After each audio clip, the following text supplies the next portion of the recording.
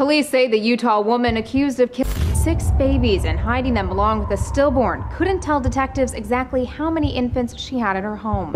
Quite frankly, I'm still in a state of shock. We were wondering what the heck is going on.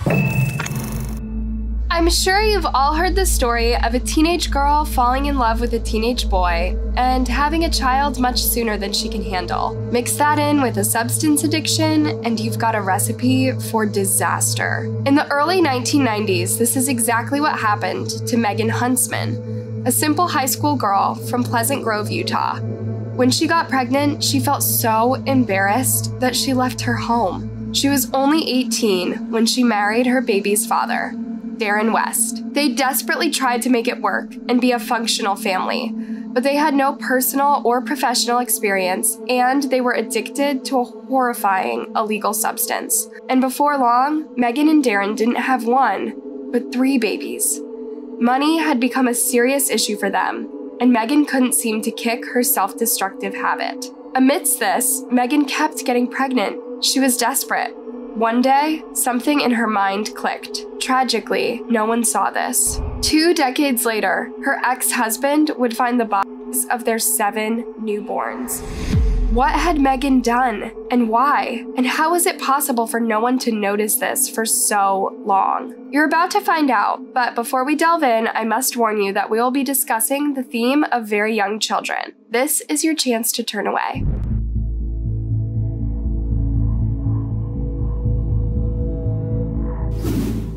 Today's story begins in a small suburb of Salt Lake City, Utah. On February 27, 1975, Megan Huntsman was born to parents Jocelyn and Blaine. As you might expect, Jocelyn and Blaine were Mormons. They were also a middle class family and fairly stable, supportive one for Megan and her younger siblings. As a result of this, Megan seemed like a pretty normal child. She had a small friend group and would do well in school. But there was one thing she was extremely shy. She would never share any details of her life with her parents, and even her friends thought that she was secretive. Her mother, Jocelyn, would say of her, she never had the strength to stand up for herself. Unfortunately, being shy and secretive also meant that Megan would not ask for help when she needed it, and teenagers often need it. During high school, Megan met a boy named Darren West. He was a couple of years her senior and was a gloomy loner with a penchant for trouble. They both liked each other, and Megan felt very attracted to his lone wolf side. She was a lone wolf too, after all. Around two years into the relationship, Darren, who was already in college, proposed to Megan, and she said yes. She was only 18. And a few months later, another big milestone would happen to Megan. She became pregnant. But as secretive as she was, she didn't tell anyone about it, not even Darren. Apparently, he found out in the very last months of her pregnancy. Somehow, she didn't show for a very long time, and she would always wear very baggy clothes. But even though Darren now knew, Megan insisted that they keep it an absolute secret from everyone else. So in 1993, Megan gave birth to her first daughter inside her bathroom. She was still living with her parents at the time, so as much as she'd kept her baby a secret until now, she couldn't anymore. The reality of the situation was devastating both to Megan's parents and to Megan herself, who was used to keeping her whole life a secret. Ashamed and scared of her parents' attitude, she took Darren and left the city. So in 1993, Megan and Darren arrived in Pleasant Grove, Utah, but there was nothing pleasant about their life there, as you're about to find out.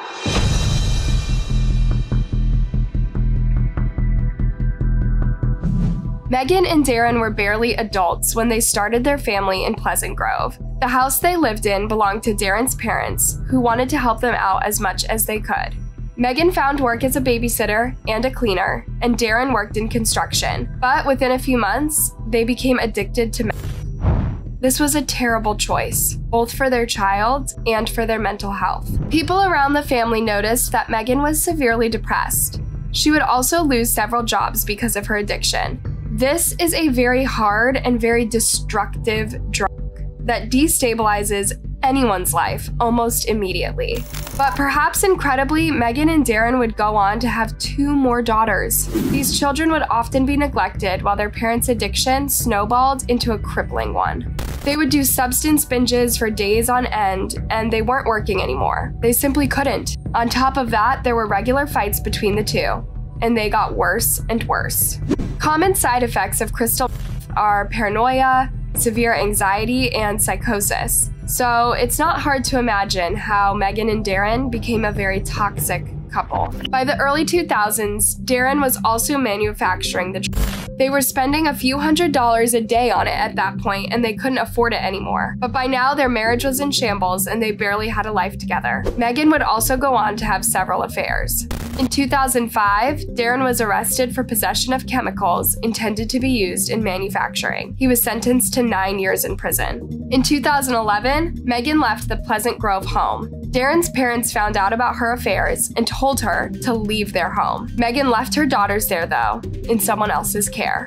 She went to live with her mom in West Valley City. She'd given up substances, but she was now abusing alcohol. And when her father took his life that year, she began drinking even more. Megan herself would say, Depression and alcohol took hold of me the same way did. A year or two later, Megan moved in with her boyfriend Jimmy in a mobile park home. All seemed well, but really it wasn't. Trust me.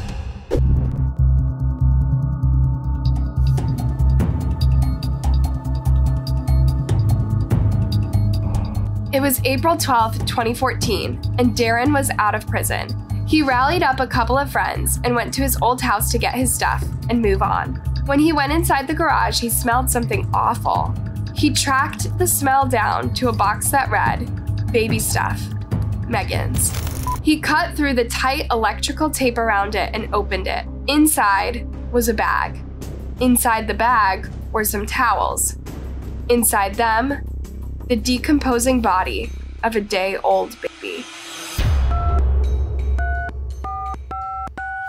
Trembling with shock, Darren called Megan. She confessed to nothing. She told him she had given birth to a stillborn baby while he was in prison, and she panicked, so she hid it. But Darren felt there was more to it than that story, so he called 911. He was right to do so. Between 1996 and 2006, Megan had seven more babies. But she already had three children, and she was certain she wanted no more. So after giving birth in her bathtub in 1996, she grabbed her newborn baby and squeezed his neck. She said that she would, she had the baby, she would hold it for a short time. She said that none of the babies were alive more than a minute or two. And then she said that she used her thumbs and she would describe what she would just show me like this. I never would have ever thought she was on drugs and or pregnant.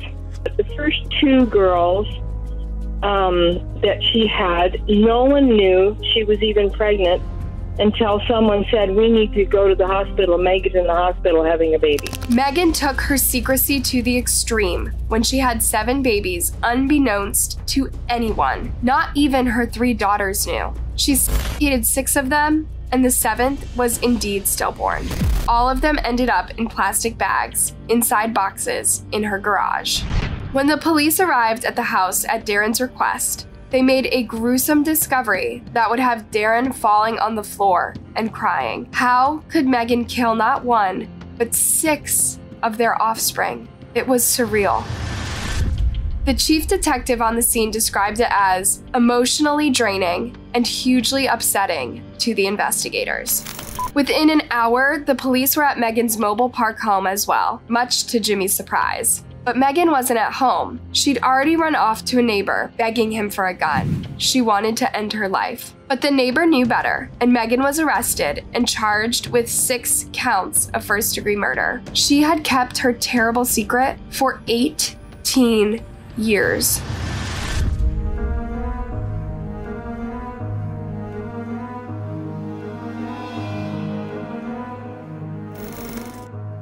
Police say the Utah woman accused of killing six babies and hiding them along with a stillborn couldn't tell detectives exactly how many infants she had in her home. KSTU reports Megan Huntsman told detectives there were eight or nine babies in her home, but police said they found seven. That's right, Megan had even lost track of her horrific murders. Megan was then asked the most obvious question why?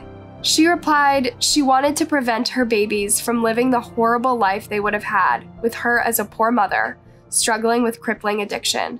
While Megan took the blame for it and expressed her deep regret, her decisions were shocking, confusing, and sad. The news deeply shook everyone that knew her. Spoke with several neighbors on this street who say not only is it shocking, not only is it disturbing, but it's just very sad because they knew her very well. Quite frankly, I'm still in a state of shock. We were wondering what the heck is going on.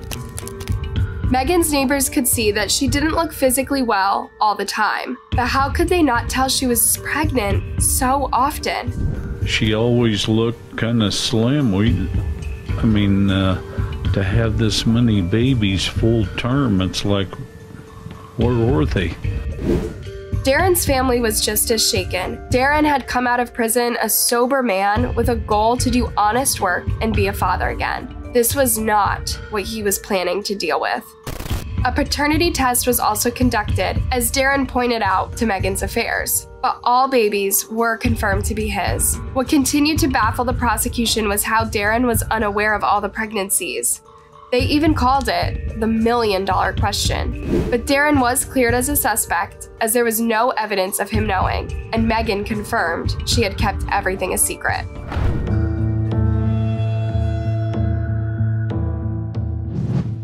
Megan was held on a $6 million bail, 1 million for each baby she'd killed. During her hearing, Megan admitted she hadn't been working for two years when she was arrested. You're currently held in custody, and you're gonna take no income. Let's see, the last time you worked was December 2013? Yeah. You haven't worked since then? It was actually 2012, sorry. Oh, okay, okay. Uh-huh. Do you otherwise have any money in the bank or any other investments or anything that would help you repay? No. No, I don't. The judge, who had signed the search warrant for Darren's home, said he had quietly hoped and prayed that he wouldn't have to deal with this case in court. Megan's murder shocked everyone who spoke about it. These were very coldly calculated killings.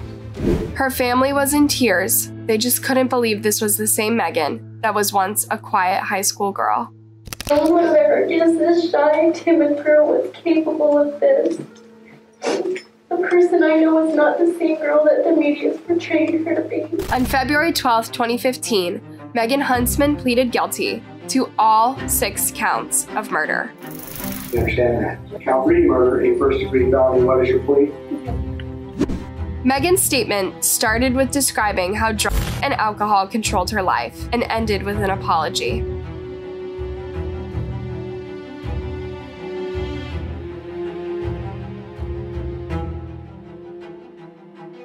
Megan received a minimum of five years for each murder and some further sentences for concealing the bodies. Her earliest parole hearing will be in 2064, when she will be 89. This is a horrible story that scarred everyone who was a part of it.